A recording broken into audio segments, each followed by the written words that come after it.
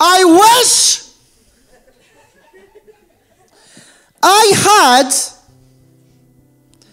a ladder. You see, I wish I had a ladder because if I had a ladder, I could reach the things I can't normally get to, like the tops of tall cupboards where everyone seems to keep their pasta. Have you ever met someone that hasn't kept their pasta there? And when I asked one guy once, I want to ask him where he kept his pasta, he said, I'm gluten free. To which I replied, I'm sorry to hear you have celiac disease. And that's when he said, No, I just read on the internet that it was healthy, and that's when it became apparent. This man has no fucking idea how gluten works in the body. sorry. I wish I had a ladder. Wait, no, I wish I had a lot of ladders. A lot of ladders in a ladder collection. That way, when I got a new ladder, I'd be adding to my ladder collection. I would be a ladder adder.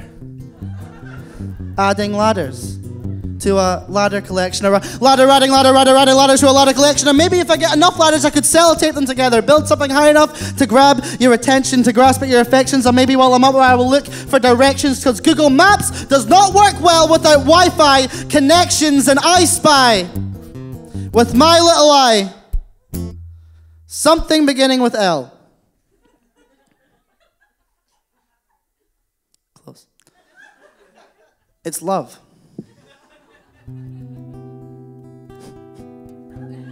It's love. I'm not done. It's love. It's love. It's love. Because I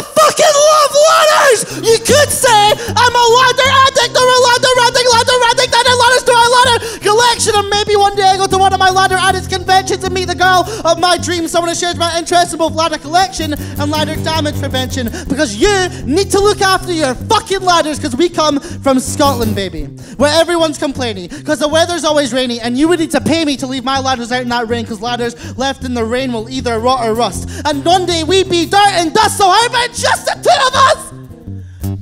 Go into that corner over there and we talk about ladders together. Or whatever, because maybe you don't like ladders like I do. Maybe you prefer chess. And I guess I can get into chess, but my playing style's a mess because I refuse to go any direction other than up and down like a ladder. Or maybe when we're talking, I discover you like walking, and I guess I can get into walking because walking is kind of like climbing a ladder. Except you don't use your hands, and the ladder's on the floor. And I would adore to try new things with you, explore the places you bring me to, and even if the things we do don't involve ladders, because ladders don't seem to matter when you're around. I think it's like how ladders near each other will just fall to the ground, whereas two ladders that push against each other creates a structure which is structurally sound. And one day, when we are old and we are frail, and we can only climb ladders that have ladder handrails, our children might find our ladders.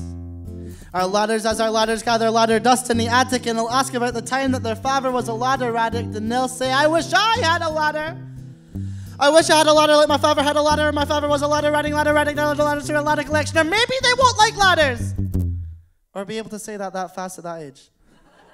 Maybe they prefer chess like you, and I guess that's okay too, because between me and you, I love you twice as much as I love ladders. If it's a choice between you and ladders, I'll choose ladders never.